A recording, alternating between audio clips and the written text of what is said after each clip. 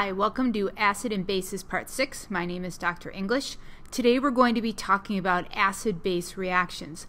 Specifically, we're going to look at reactions of acids with metals, neutralization reactions, understanding titration reactions, titration reactions with polyprotic acids, titration reactions with multiple hydroxide ions. So let's start off by talking about reactions of acids with metals. We know that acids react with metals to form hydrogen gas and a chemical salt. So for example, magnesium will react with hydrochloric acid to produce hydrogen gas and magnesium chloride.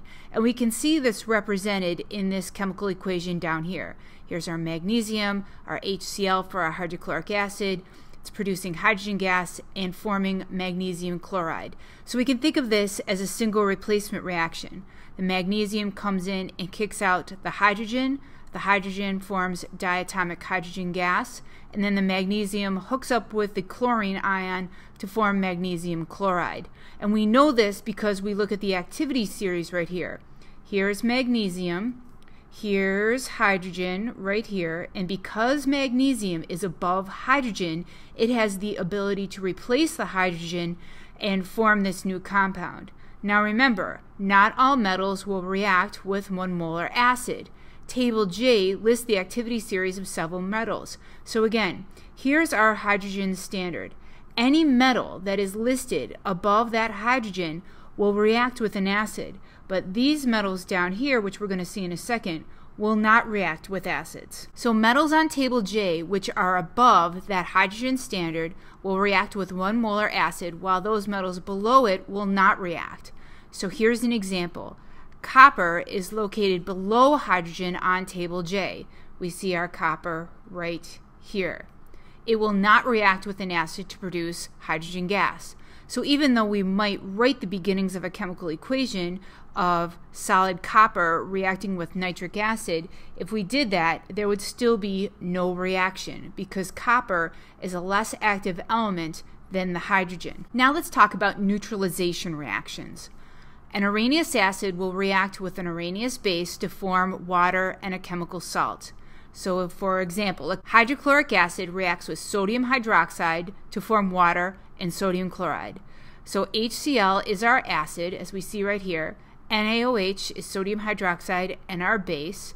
We're going to form water, and the water is coming from the hydrogen here and the hydroxide ion right here. Those two are coming together to form the water and the remaining ions, the sodium ion and the chloride ion, are coming together to make my chemical salt, NaCl. This reaction is called neutralization because the hydrogen ion of the acid combines with the hydroxide ion of the base to form water, which is a neutral compound.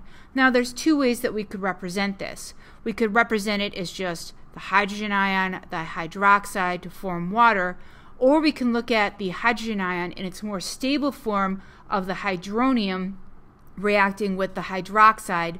This extra hydrogen, which is formed from a coordinate covalent bond with the water molecule, is basically given up to the hydroxide ion, and we form two water molecules. Either which way, they both represent the bare bones minimum of a neutralization reaction. Titration. A neutralization reaction that is often done in the laboratory is called a titration. In a titration, an acid or base of known concentration, in other words, known molarity, is used to neutralize a base or acid of unknown concentration. So we're going to solve for this. This will be our X. The volumes used are measured very carefully, and the exact point of neutralization known as the endpoint, is marked by an indicator, and we've talked about indicators already. This is where you see a substance going through a color change to mark the difference between an acidic solution, a neutral solution, and a basic solution. This makes it possible to calculate the unknown concentration of the base or acid, or in some situations, an unknown volume. At the endpoint of the titration, the moles of the hydrogen ion are equal to the moles of the hydroxide ion. So when we've hit this point of titration, this endpoint, moles of hydrogen ions will equal moles of hydroxide ions. Table T gives the concentration equation as molarity is equal to moles of solute over liters of solution.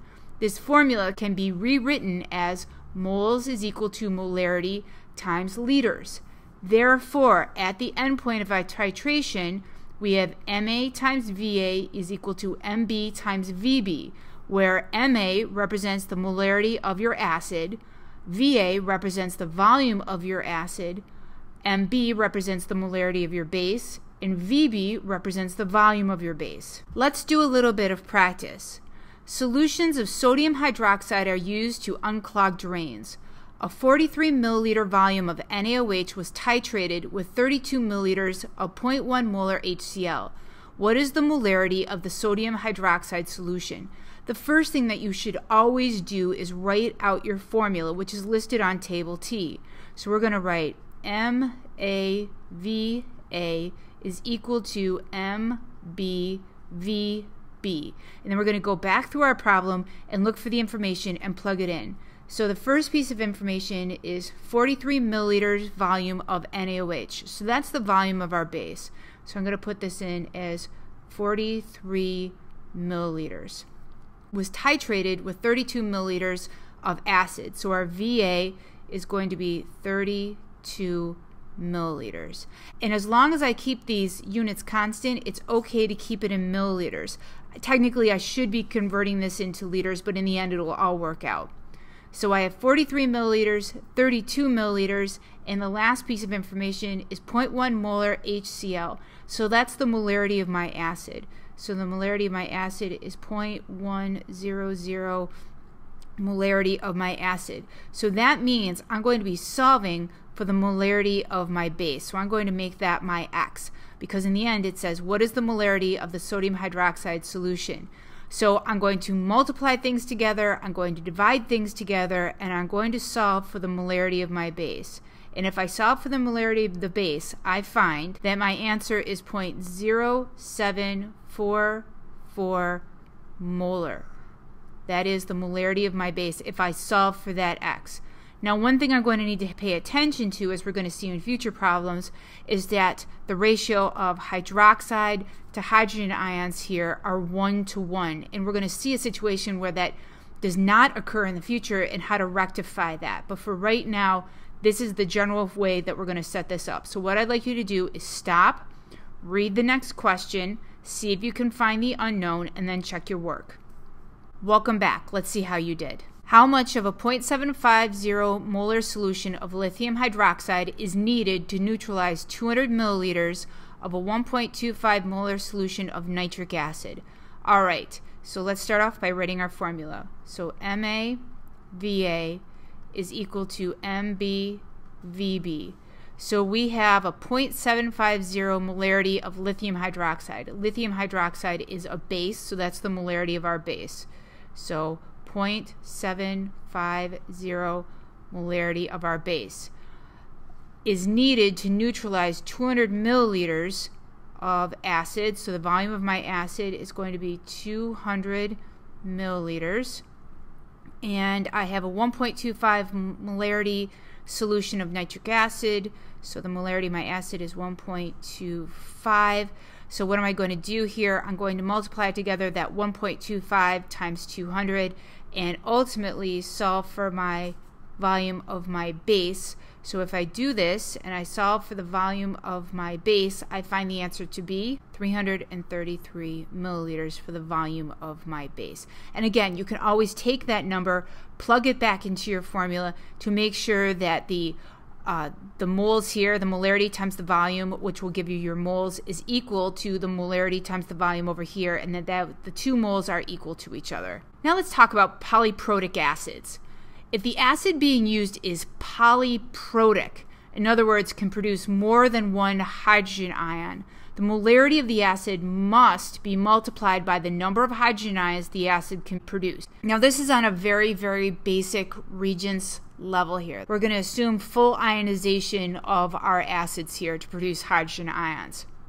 So, if 20 milliliters of 0.1 molar H2SO4 is neutralized by 100 milliliters of NaOH, what's the concentration of the NaOH?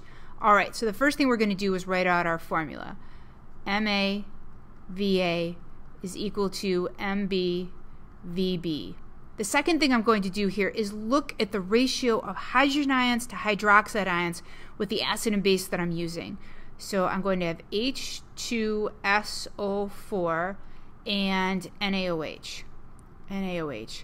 Now what I want to notice here is that I have two hydrogens for every one hydroxide. So two hydrogens for every one hydroxide. That means I need to take the acid side and multiply it by 2 to basically say, hey, I'm doubling this side. Now, don't overthink this. Just this is a 1 to 2 ratio. For every two hydrogen ions, I'm going to have one hydroxide over here. And you certainly do not need to put the 1 in over on this side. So now that we've established that this is a 2 to 1 ratio, we can put our numbers in. So if 20 milliliters of 0.1 molar H2SO4, all right, so we're going to have our 2 that we listed up before. The molarity of our acid is 0.100 molar. The volume of our acid is 20 milliliters. Okay, and we look back at our question, is neutralized by 100 milliliters of NaOH. What's the concentration of the NaOH, which just means the molarity? So we're looking for the molarity of the base. The volume of the base that we're using is 100 milliliters.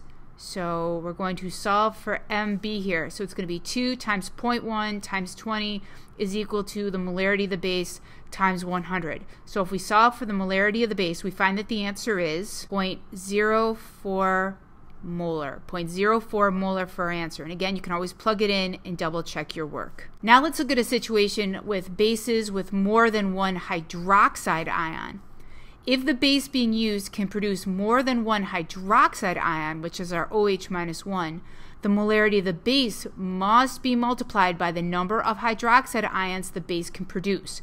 So very similar to what we just saw with the number of hydrogen ions, but now we're just looking at the hydroxide ions. If 30 milliliters of 2 molar solution of HCl is neutralized by 120 milliliters of CaOH2, what's the molarity of the CaOH2?